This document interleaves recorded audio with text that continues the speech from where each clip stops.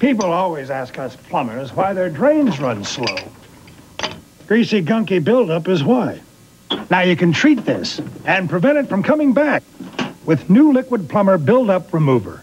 Ordinary liquid drain openers remove clogs that flow past the greasy buildup. Liquid Plumr Buildup Remover releases millions of hungry enzymes that eat the gunk lining your pipes and keep your drains flowing free.